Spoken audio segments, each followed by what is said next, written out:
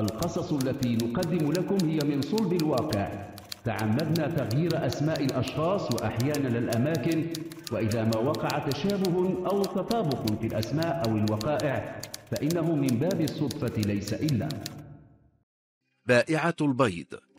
تحد مجموعة الأزقة المتفرعة عن شارع مولاي أحمد في سطات مجموعات سكنية تتداخل. كل واحدة منها تجسد عالما قائم الذات. هناك تتفاوت العلاقات بين الناس بين ود وصفاء وعناد وخصومات لا تنتهي إلا لتبدأ من جديد. كل ذلك قد لا يستوقف الاهتمام إلا ما كان من فضول البعض ممن تستهويهم مشاكل الآخرين يصنعون منها فرجة ويتخذونها مادة دسمة لأحاديثهم في المنتديات وحين يتسامرون. في واحدة من تلك المجموعات السكنية المتواضعة تسكن عائلة بوشعيب بولحبل الذي توفي قبل عشرين سنة. غادر أبناؤه المنزل وتوجهوا إلى طنجة والدار البيضاء للعمل. بقيت أرملته وحدها مع إحدى بناتها لم تتزوج قط. حين يكون الجو مشمسا تمضي بها إلى جدار قصير مقابل لباب منزلها وتجلسها هناك لتتلقى أشعة الشمس الدافئة. تزيل العجوز غطاء رأسها فتظهر خصلات شعرها التي ابيضت. تعلوها بقع تذكر بأنها خضبتها قبل فترة بالحناء. تجلس العجوز هناك لساعتين أو أكثر. لقد فقدت بصرها منذ ثلاثة أعوام. حين تبطئ ابنتها الضوية تسمع وهي تنادي عليها. كان في صوتها نبرة تميزها عن كل الأصوات. توحي إلى السامع إليها بأنها امرأة هادئة الطبع. أحيانا لا تحضر الضوية سريعا فترى المرأة وهي تتلمس الطريق إلى باب سكنها. عيناها المفتحتان تنظران في اتجاهات شتى.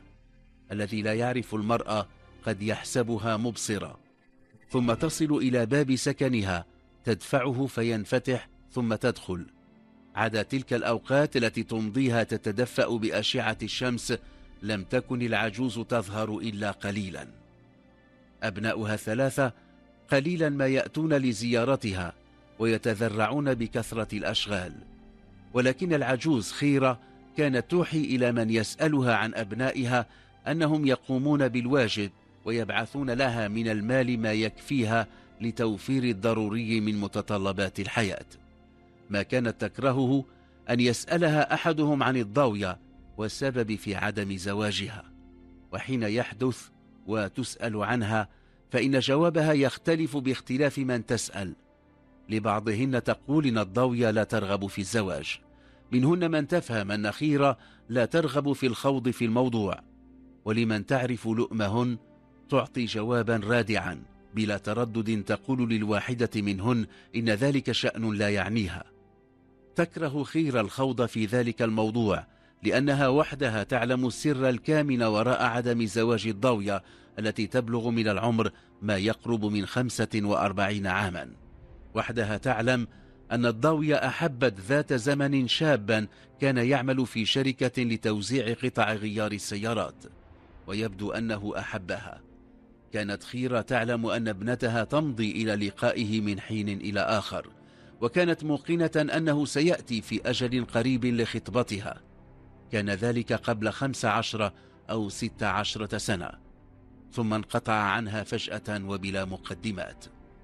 قالت الضوية لأمها ذات مساء وهي تبكي إنه خان عهدا كان بينهما. لم تستسخ خيرة أن يسخر من ابنتها. كان يسكن الدار البيضاء. قررت أن ترافقها للبحث عنه هناك. أمضتا يوما كاملا في الدار البيضاء. ثم اكتشفتا لما سألتا عنه في مقر الشركة التي يعمل لها أنه متزوج وله ولدان. يومها أقسمت الضاوية أنها لن تتزوج بل وقررت أن تنتقم منه.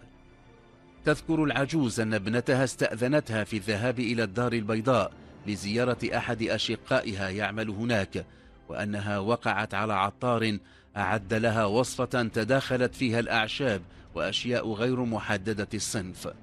تدبرت أمر من يدس له منها في طعامه وذات مرة رأته يمشي وهو يحدث نفسه. هو سر تدفنه المرأتان في قرارة نفسيهما ولن تبوح به لأحد بل إنهما لم تعودا تحدثان نفسيهما عن ذاك الذي تعدانه ماضيا أليما. تمضي الضوية أيامها في الاعتناء بالبيت تعد الطعام لأمها وتكنس المنزل ما يفضل لها من وقت تمضيه في متابعة برامج التلفزيون. هي كما نساء كثيرات تعجبها المسلسلات. كان ما يصل إلى والدتها من إخوتها الثلاثة يغنيها عن العمل. هي تعلم أنها لا مؤهلات لديها وأن ذلك يعني أنها إن خرجت تبحث عن شغل فإن مآلها سيكون العمل في البيوت. مع مرور الوقت صار لا يكفي ما يبعث به الإخوة الثلاثة الذين تزوجوا وأنجبوا وثقلت أحمالهم.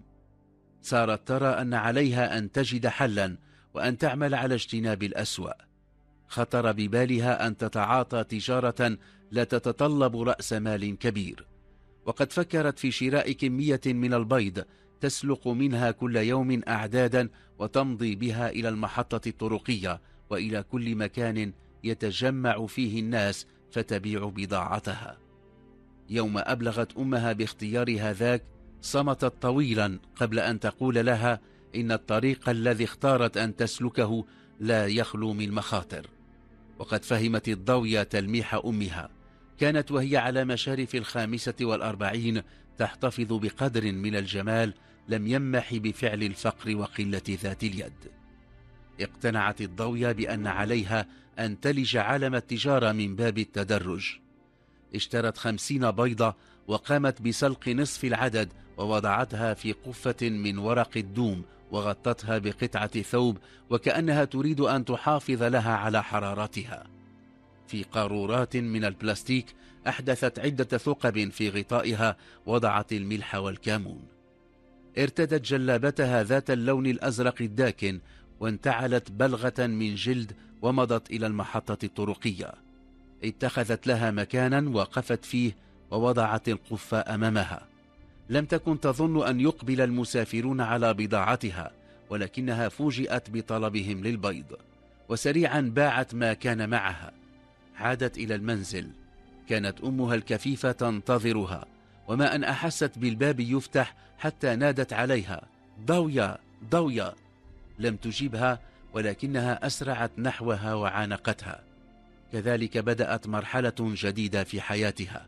صارت تحمل كل يوم ما لا يقل عن ثمانين بيضة إلى المحطة تبيعها ثم تعود إلى البيت. ذات مساء وقد وضعت القفة أمامها تنتظر الزبائن رأت رجلا يرتدي جلابة صوفية يغلب عليها البياض يقبل نحوها. لما وصل سألها عن ثمن البيضة الواحدة. لم يكن في سؤاله ما يثير الاستغراب ثم تناول بيضتين وقشرهما ورش عليهما من الملح والكامون ولما فرغ من تناول البيضة الثانية أدخل يده في جيبه وأخرج حافظة نقود. وهو يناولها ثمن البيضتين التقت نظراتهما. تنحنح الرجل ولكنه ظل ينظر إليها. لما ابتسمت له سألها إن كانت من سطات لم يكن هناك من زبون غيره في تلك الأثناء. ولما ردت بالإيجاب ضحك فظهرت على جانب طقم أسنانه سن من ذهب. قال إنه أيضا من سطات في ظرف دقائق علم منها أين تسكن. وهو يهم بالانصراف سألها إن كانت متزوجة. ولما أجابت بالنفي اقترب منها أكثر وطلب منها أن يلتقيا. احمرت وجنتاها. فاجأها ما يقوله ثم تداركت الأمر وأبلغته بأنها ستكون في المحطة في الموعد نفسه. ابتسم وقال إنه سيأتي إلى مقابلتها في مثل الوقت الذي هما يتحدثان فيه. تذكر الضاوية أنها لم تستطع إلى النوم سبيلا لما عادت إلى البيت. فكرت في إبلاغ أمها ثم تراجعت. ساورتها شكوك حول نوايا ذلك الرجل. وفي لحظة قالت لنفسها إنها تسرعت في التعلق برجل لا تعرفه ولم تره إلا خلال تلك اللحظات التي التهم فيها بيضتين.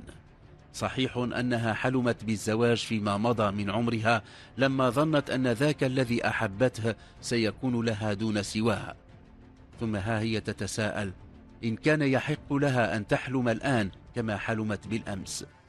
يأتي من أعماقها صوت يقول لها أن لا شيء يمنعها من الحلم ومن السعي إلى تحقيقه وبلورته واقعا. عصر ذلك اليوم ارتدت جلابة كانت قد نذرتها للمناسبات الهامة. حملت قفة البيض ومضت إلى المحطة. صارت معروفة لدى أصحاب التاكسيات كثير منهم كانوا زبناء دائمين لها. قرأت في عيون البعض منهم إعجابا بأناقتها. سريعا باعت ما يقرب من نصف ما جاءت به. مر من الوقت ما يزيد على الساعة كانت تطوف بنظراتها في كل اتجاه ثم رأته يقبل نحوها وقد ارتسمت على وجهه الواسع ابتسامة. لعله كان يريد إلى تبرير وقوفه عندها لما طلب بيضتين ناولتهما إياه وهو يقشر الأولى سألها إن كانت تستطيع أن ترافقه إلى مكان يتيح لهما الحديث في هدوء. قالت له إنها تريد أن تبيع ما بقي لديها من بيض. ضحك فظهرت السن الذهبية على جانب طقم أسنانه. قال لها إنه مستعد ليدفع ثمن ما بقي من بيض في القفة. تواعد على اللقاء في مقهى وسط المدينة. كان عليها أن تعود إلى البيت لتتخلص من القفة. في السابعة والنصف كانت في باب المقهى. رأته ودخلت ولم تكن قد دخلت مقهى منذ سنين بعيدة. لم يمهد الرجل الذي علمت أن اسمه عبد السلام للموضوع. مباشرة بعد أن طلب للنادي قهوة وعصيرا سألتها إن كانت ترغب في الزواج منه. أربكها. أحست بموجة من الحرارة تكتسح وجنتيها. سكتت ولعله عده قبولا ورضا. ثم قالت له إنها لا تعرف عنه شيئا. حكى لها عبد السلام عن ماضيه في فرنسا وأبلغها بأن زوجته توفيت منذ أربعة أعوام. علمت منه أنه لم ينجب منها وأنه وقد أحيل على التقاعد عاد ليستقر في سطات لم تستطع الضوية تمالك نفسها. بكت فرحا. ثم لما هدأت قليلا قالت له إنها وإن كان يحق لها أن تزوجه نفسها تدعوه لطلب يدها من أمها. بعد يومين جاء عبد السلام ومعه صديق له إلى دار العجوز خيرة وطلب يد ابنتها وهي تسمع الطلب زغردت كما لم تفعل منذ أمد بعيد. وبعد أسبوع كانت الضوية تزف إلى عبد السلام بحضور أشقائها الثلاثة. قالت خيرة إنها كانت تود لو تراهم مجتمعين. بعيدا عن أوهام الماضي في منزل من مجموعة منازل تتشابه في بساطتها غير بعيد عن مسجد أبي عبيد بن الجراح يسكن سليمان محمود. الرجل مزداد في بسكرة في منتصف خمسينيات القرن الماضي. كان والده يعمل في ضيعة لأحد المعمرين الفرنسيين. وقد نشأ في بيت كان يتقاسمه والده مع عم له هاجر فيما بعد إلى فرنسا. كان بيتا يعج بالأطفال ولم يكن كثير من الجيران يفرقون بين محمود وإخوته وأبناء عمهم جميعهم كانوا ينادونهم بأولاد سليماني. لم يكن كبيرا حظ محمود من التعليم. قبل أن يكمل الطور الابتدائي صار يرافق والده إلى الضيعة يساعده في بعض الأشغال.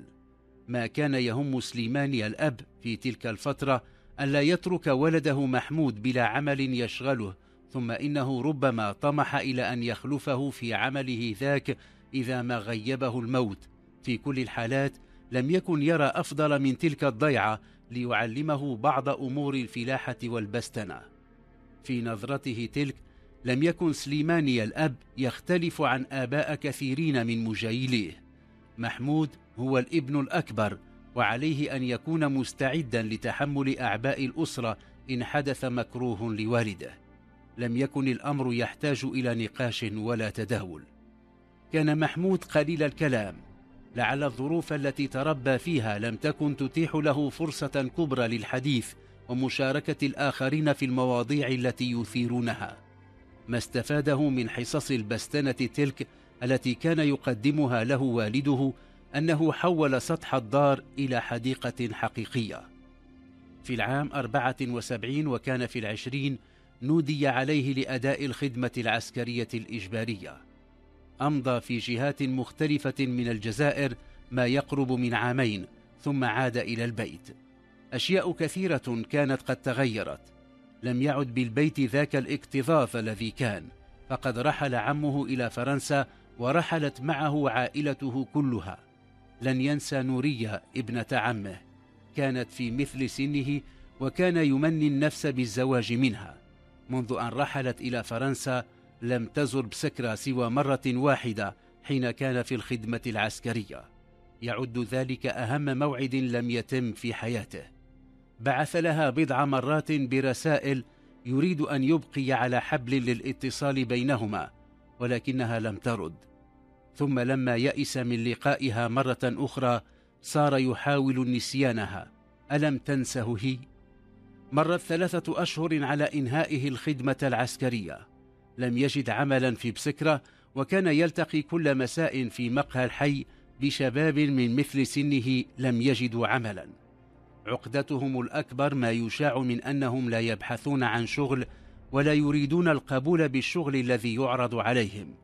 ولذلك لما طرق باب منزل العائلة عسكري يسأل عنه ظن أنه الفرج. صدق توقعه. فقد حمل إليه العسكري دعوة للالتحاق بالجيش إن هو كان يرغب في ذلك. لم يكن الأمر يحتاج إلى تفكير هي فرصته وعليه ألا يفوتها. كذلك بدأت حياة الجندي سليمان محمود. ظن في البداية أن عمله سيكون في بسكرة أو في مدينة غير بعيدة منها. ولكنه سرعان ما اكتشف أن تفكيره ذاك لم يكن يقوم على أساس. تنقل بين عدة ثكنات في أرجاء البلاد المختلفة. طبعه الهادئ جعل ضابطا يختص به نفسه ويعينه ضمن الجنود الذين يقومون على خدمته. حين يأتي إلى بسكرة لما تمنح له رخصة كان يمر بين دروب حيه الضيق بخيلاء. يتوهم أنه يمثل الجيش في ذلك الحي. بعد ثلاثة أعوام وقد يئس حقا من كل رد يأتيه من ابنة عمه نورية تزوج فتاة تعرف إليها بينما كان يعمل في برواغية وأنجب منها ثلاثة أطفال أكبرهم يبلغ الآن من العمر ثمانية عشر عاماً. في مستهل تسعينيات القرن الماضي تلك التي تعرف في الجزائر بالعشرية السوداء كان الجندي سليمان محمود ضمن دورية للجيش في أطراف الأخضرية. لما باغتهم مسلحون بنيران كثيفة تلاها انفجار كلما تحدث عنه استحضر هوله. لم يستعد وعيه إلا لما كان في المستشفى. اكتشف أنه فقد قدمه اليسرى في ذلك الكمين. صار من معطوبي الجيش وأحيل على المعاش. كذلك انتهت حياة الجندية لسليمان محمود. المنحة التي يحصل عليها لا تكفي للاستجابة لمتطلبات حياة أسرته. فكر الرجل في نشاط يمكنه من دخل إضافي واستقر رأيه على أن يتحول إلى بائع خضر متجول. وفر عربة اتخذها له دكانا وصار يتنقل بين الأحياء أرخى لحيته التي اكتسحها الشيب.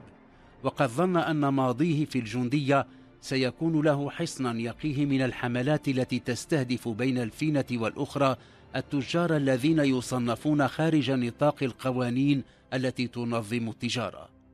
العرج الذي صار يعاني منه بعد أن بطرت قدمه يجعل الناظرين إلى حاله يتعاطفون معه.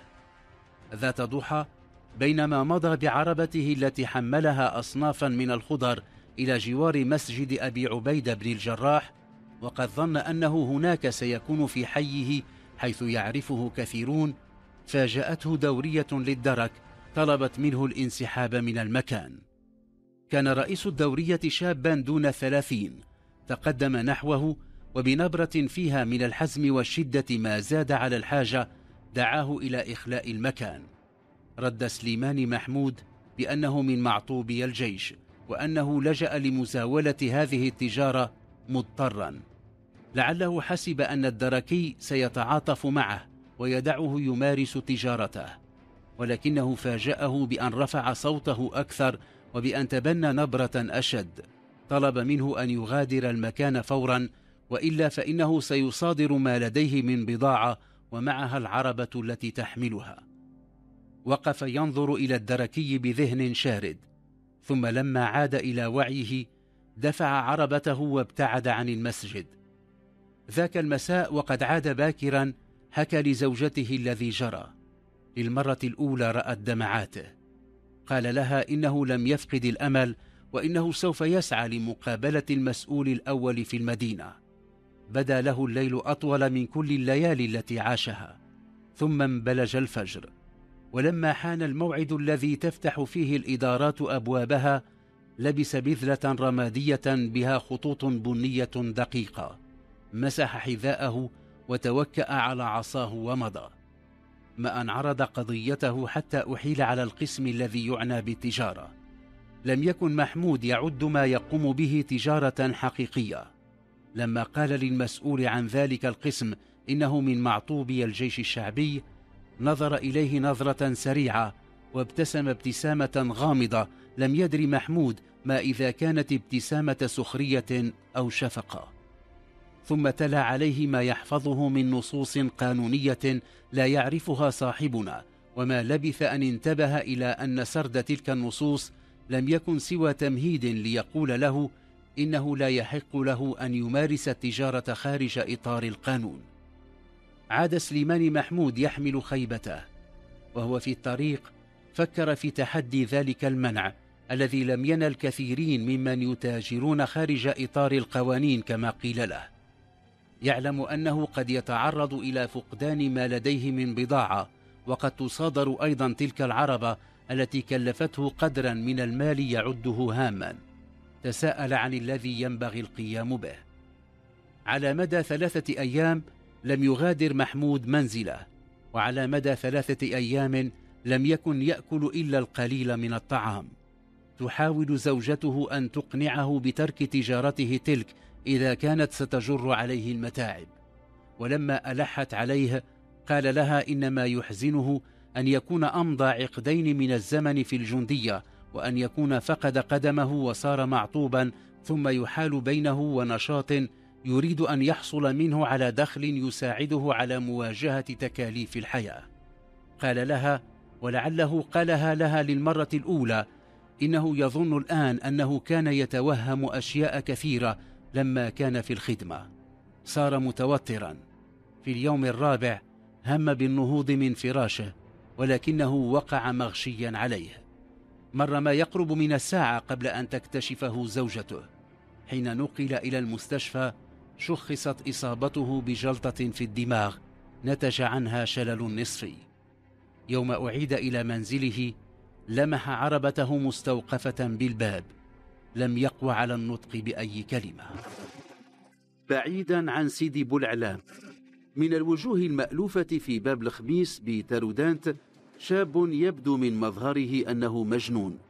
والواضح أن الناس هناك في باب الخميس ألصقوا به تلك الصفة إذ لم يكن يكلم منهم أحدا. حين يتحدثون عنه فإنهم يذكرون المجنون وبوصندالة لا يأتي أحد على اسم له يعرف به كآخرين من الناس وإنما هي صفة المجنون وكنية بوصندالة لأنه لم يكن يغير حذاءه الصيفي على مدار العام. باب الخميس فضاء مفتوح للعابرين. من ذا الذي يتوقف عند هذا الشاب الذي يمضي أوقاته جيئة وذهابا في طريق سيدي العربي؟ حين يأتي المساء يشاهد بوصندالة يسلك شارع إبراهيم الروداني قبل أن تبتلعه أزقة درب العفو لتلفظه في صبح اليوم التالي. يظن كثيرون أنه يسكن هناك في النهاية ما الفائدة في أن يعرف مأوى هذا المجنون؟ ثم أليس هناك مجانين سواه؟ كذلك كانت تمضي أيام بوصندالة حياة مجالها باب الخميس وطريق سيدي العربي ثم شارع إبراهيم الروداني وأزقة درب العفو المسالك ذاتها يعبرها كل يوم هذا الشاب الذي يبدو أنه لم يبلغ الثلاثين بعد. لا تغيرها الفصول ولا المواسم. أحيانا يعترض سبيله شبان أو يافعون. منهم من يحاول أن يبدي قوته فيحاول أن يلقي به أرضا. ومنهم من يحاول أن يستولي على تلك الدريهمات التي يقبضها من المحسنين. لم يكن يتسول ولكن المارة يشفقون لحاله فيعطونه بعض الدريهمات لشراء ما قد يحتاج إليه من طعام. لم يكن به بكم ولا صمم. وقليلا ما رد على من يحاول الإمساك به يتفلت ثم يواصل السير. كان في جملة من يكثرون اعتراض سبيل بوصندالة شاب اسمه أحمد علي وكان معروفا في باب الخميس بعدوانيته. قبل عامين في العام سبعة وألفين طرده أبوه من البيت لما ضاق به ذرعا. لم يفلح في الدراسة ولا في التجارة وصار يتزعم مجموعة من المراهقين واليافعين. صباح العشرين من أبريل من العام تسعة وألفين في حدود الثامنة صباحا كان أحمد علي في باب الخميس. يومها لم يتأخر بوصندالة عن موعده. جاء وفي يده كيس بلاستيكي به قطعة خبز. وما أن بلغ بمحاذاته حتى انقض عليه أحمد علي وأمسك بملابسه بإحكام. على بعد بضعة أمتار وقف الحشتهامي في باب دكانه يراقب الذي يحدث. كان بوصندالة يحاول صامتا أن يتفلت من قبضة أحمد علي الذي كان يقهقه وهو يقاوم محاولات بوصندالة لحق به في تلك الأثناء ثلاثة أو أربعة من أولئك المراهقين الذين يلازمونه. انخرطوا معه في الضحك باغت أحدهم بوصندالة وانتزع منه الكيس البلاستيكي المقلم وابتعد بضعة أمتار. فتحه وصار ينظر ما بداخله.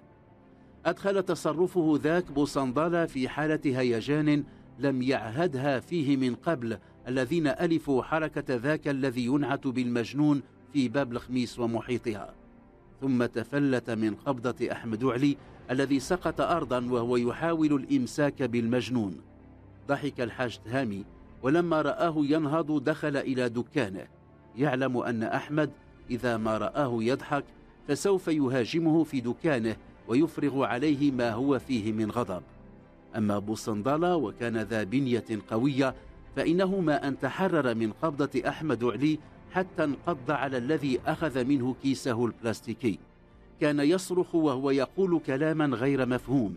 كذلك كان يعلن غضبه. حاول اليافع أن يتراجع ولكنه سقط أرضا وارتطمت مؤخرة رأسه بصخرة كانت هناك. اهتز جسمه قليلا ولكنه لم يقوى على النهوض. انحنى بوصندالة واسترجع كيسه المقلم ومضى يتبع طريق سيدي العربي. لا يتلفت وما لبث أن اختفى. هم أحمد علي باقتفاء أثر المجنون ولكنه تراجع لما رأى رفيقه ملقا على الأرض لا يتحرك. اقترب منه ولاحظ بقعة دم على مؤخرة رأسه.